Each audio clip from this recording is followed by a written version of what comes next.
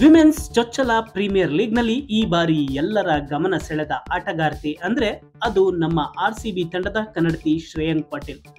R C ಬಿಯ X factor player ಇಪ್ಪತ್ತು ವರ್ಷದ ಈ ಹುಡುಗಿ ತಮ್ಮ ಸ್ಪಿನ್ ಜಾದು ಮೂಲಕ ಎಲ್ಲರ ಗಮನ ಸೆಳೆಯೋ ಜೊತೆಯಲ್ಲಿ ಫಿಯರ್ಲೆಸ್ ಬ್ಯಾಟಿಂಗ್ ಮೂಲಕ ಎಲ್ಲರಿಗೂ ಸ್ಫೂರ್ತಿಯಾಗಿದ್ರು. ಚೊಚ್ಚಲ ವಿಮೆನ್ಸ್ ಲೀಗ್ನಲ್ಲೇ ಸೆನ್ಸೇಷನ್ ಸೃಷ್ಟಿ ಮಾಡಿದ್ದ ಕನ್ನಡತಿ ಇದೀಗ ವಿಶ್ವ ಕ್ರಿಕೆಟ್ನಲ್ಲಿ ಫುಲ್ ಡಿಮ್ಯಾಂಡ್ ಹೆಚ್ಚಿಸಿಕೊಂಡಿದ್ದಾರೆ. ಚೊಚ್ಚಲ ವುಮೆನ್ಸ್ ಲೀಗ್ನಲ್ಲಿ ಆರ್ ಸಿ ಬಿ ಪರ ಕಣಕ್ಕಿಳಿದಿದ್ದ ಇಪ್ಪತ್ತರ ಶ್ರೇಯಾಂಕ್ ಪಾಟೀಲ್ ಇದೀಗ ವಿದೇಶದಲ್ಲೂ ಸದ್ದು ಮಾಡೋದಕ್ಕೆ ರೆಡಿಯಾಗುತ್ತಿದ್ದಾರೆ ವಿಮೆನ್ಸ್ ಲೀಗ್ ನಂತರದಲ್ಲಿ ಎಮರ್ಜಿಂಗ್ ಏಷ್ಯಾ ಕಪ್ನಲ್ಲಿ ಸೆನ್ಸೇಷನ್ ಸೃಷ್ಟಿಸಿ ವಿಶ್ವ ಕ್ರಿಕೆಟ್ ಲೋಕದಲ್ಲಿ ಫುಲ್ ಡಿಮ್ಯಾಂಡ್ ಸೃಷ್ಟಿಸಿಕೊಂಡಿದ್ದಾರೆ. ಭಾರತದ ಯಾವ ಕ್ರಿಕೆಟ್ ಆಟಗಾರ್ತಿಯೂ ಮಾಡಿರದ ಸಾಧನೆ ಇದೀಗ ಶ್ರೇಯಾಂಕ್ ಪಾಟೀಲ್ ಮಾಡಿದ್ದು, ಸದ್ಯ ಕೆರೆಬಿಯನ್ ಪ್ರೀಮಿಯರ್ ಲೀಗ್ನಲ್ಲಿ ಆಡೋದಕ್ಕೆ ಸಜ್ಜಾಗುತ್ತಿದ್ದಾರೆ.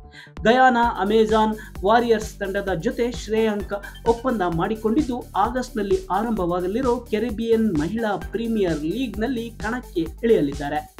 ಆ ಮೂಲಕ ಅಂತಾರಾಷ್ಟ್ರೀಯ ಕ್ರಿಕೆಟ್ಗೆ ಪಾದಾರ್ಪಣೆ ಮಾಡುವ ಮುನ್ನವೇ ವಿದೇಶಿ ಲೀಗ್ನಲ್ಲಿ ಗುತ್ತಿಗೆ ಪಡೆದ ಮೊದಲ ಆಟಗಾರ್ತಿ ಅನ್ನೋ ಹೆಗ್ಗಳಿಕೆಗೆ ಪಾತ್ರರಾಗಲಿದ್ದಾರೆ. ಅಷ್ಟೇ ಅಲ್ಲದೆ ಇದರ ಜೊತೆಯಲ್ಲಿ ಇದೀಗ ಟೀಮ್ ಇಂಡಿಯಾದ ಬಾಗಿಲ ಸನಿಹದಲ್ಲಿ ಇರೋ Shreyanka Patil Caribbean premier league ಜೊತೆಯಲ್ಲಿ ಬಿಗ್ ಬ್ಯಾಶ್ ಲೀಗ್ನಲ್ಲೂ ಆಡೋ ಸಾಧ್ಯತೆಗಳಿದ್ದು, ಆ ಮೂಲಕ ಅಂತಾರಾಷ್ಟ್ರೀಯ ಕ್ರಿಕೆಟ್ಗೆ ಪಾದಾರ್ಪಣೆ ಮಾಡುವ ಮುನ್ನವೇ ವಿದೇಶಿ ಲೀಗ್ನಲ್ಲಿ ಬೇಡಿಕೆ ಹೆಚ್ಚಿಸಿಕೊಂಡ ಮೊದಲ ಆಟಗಾರ್ತಿ ಅನ್ನೋ ಹೆಗ್ಗಳಿಕೆಗೆ ಭಾಜನರಾಗಿದ್ದಾರೆ.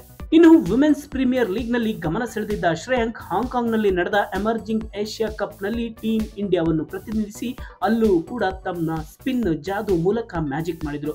ಶ್ರೇಯಾಂಕ್ ಅವರ ಒಂದೊಂದು ಎಸೆತಕ್ಕೂ ತಡಬಡಾಯಿಸಿದ ಎದುರಾಳಿಗಳು ವಿಕೆಟ್ ಒಪ್ಪಿಸಿ ಪೆವೆಲಿಯನ್ ಪೆರೇಡ್ ನಡೆಸಿದ್ರು.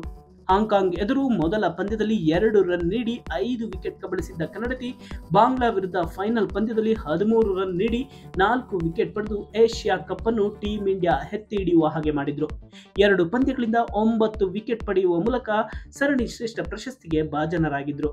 ಇದೀಗ ತಮ್ಮ ಟ್ಯಾಲೆಂಟ್ ಅನ್ನು ಹೊರಚೆಲ್ಲುತ್ತಿದ್ದಂತೆ ಅದೃಷ್ಟ ಕೂಡ ಕುಲಾಯಿಸಿದ್ದು ಇದೀಗ ವಿದೇಶಿ ಲೀಗ್ನಲ್ಲೂ ಶ್ರೇಯನ್ ಪಾಟೀಲ್ ಬೇಡಿಕೆಯನ್ನು ಹೆಚ್ಚಿಸಿಕೊಂಡಿದ್ದಾರೆ.